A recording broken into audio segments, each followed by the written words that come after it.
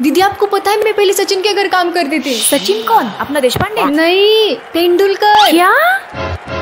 सच में? अरे वो तो कुछ भी नहीं मैं तो पहले विराट कोहली के घर पे भी काम करती थी। प्रशांत सुना तुमने?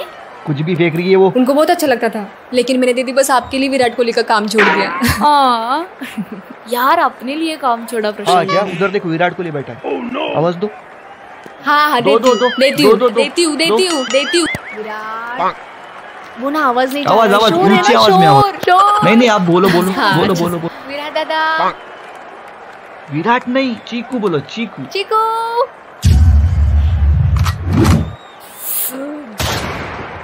Shoot, shoot.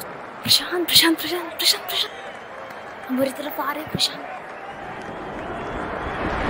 कौन बोला? ये ये। क्या है? वो अनुष्का भाभी।